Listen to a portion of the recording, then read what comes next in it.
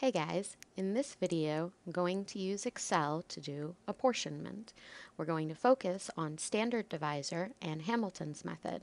There are going to be other videos for Jefferson's, Webster's, and the Hill-Huntington method.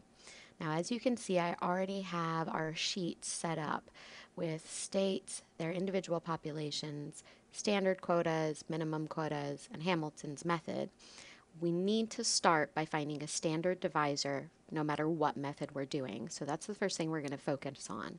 Now, as you can see, I put in what the standard divisor is. It's always your total population divided by the number of seats or buses or whatever is actually being apportioned.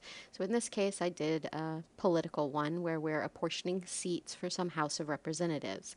So I have a small country, obviously generic, that has five states, and they've decided to create some House of Representatives based on population with 30 total seats. So the first thing we have to do is we have to find our total population. We're not usually going to know that number. We're going to have to find it from the individual populations. So I'm going to start here and I'm going to hit equals and we want to do a sum of the individual populations here so that I know my total population. So I can come up here and hit equals and just click on that cell so that I can mirror that number. Now I have my total population and the number of seats, which is what I need if I'm trying to find a standard divisor. So over here, I hit equals, click on my total population, and divide it by my number of seats. Now I have my standard divisor. So once you have your standard divisor, you will use that to find your standard quotas.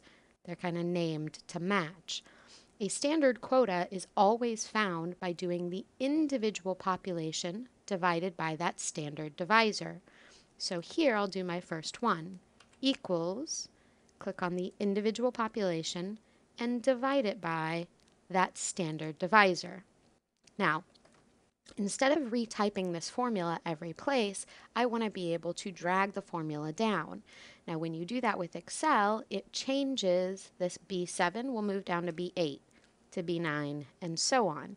But I do not want this F3, my standard divisor, to move down to lower cells. So what I need to do is anchor that.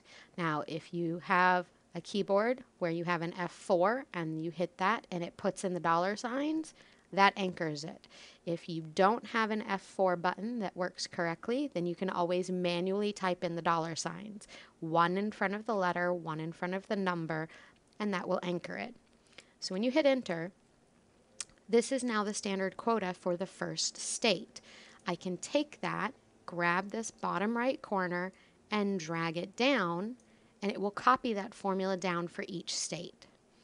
Now, this standard quota is the perfect number of representatives that each state would get if a state was allowed to have 3.5 representatives. But you can't have a decimal part of a representative. You can only have whole numbers.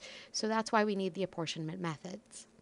So now that we know how to do a standard divisor and standard quotas, let's talk about Hamilton's method. It is the most basic of all of the methods. And what he did was take all of these standard quotas and first round them down. That's why it's called a minimum quota.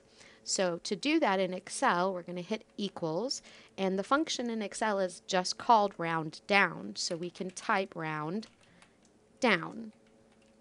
And when you open the parentheses, it tells you what it wants says, okay, what number do you want me to round down? So I'm going to click on this cell. Oh, not that one, not that one.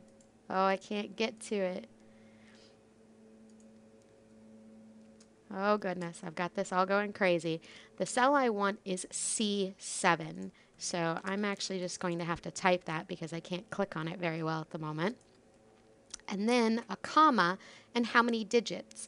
We want this rounded down to a whole number, so I want zero decimal places, basically. So put in zero and close the parentheses. And as you can see, yes, it just took that number and rounded it down. And again, the nice thing about Excel is once you have that formula in once, you can grab it and drag it down to all of them. Now, Rounding each one of these down, this is the minimum number of representatives that each one of these states should get. Now the question is, did we use all 30 seats? So let's check. Hit equals, and again, let's sum and highlight all of these. Close the parentheses. And we've only used 28 of our total of 30 seats. So the way Hamilton's method works is you say, okay, I have two seats left that I can give out. So what we're going to do is we're going to give those out to the two states that had the highest fractional part. In other words, the largest decimal. So if I look at these decimals in my standard quotas, this one, which I'll highlight just to make it stand out, 0.8 is definitely the biggest of my decimals. So that gets one of them. And so for Hamilton's method, this is actually going to go up to a 10. Then my next biggest is right here. That one has a 0.5, which is the next biggest. So this one is going to go from 3 up to 4. And that's giving out my two extras, so none of the others will change. This one will stay at 3, stay 7 here, and stay 6 here. So if we did this correctly, if I sum it up now, this list, then it should equal a total of 30. So I have given out all 30 seats in this new House of Representatives to the different states based on their populations using Hamilton's method.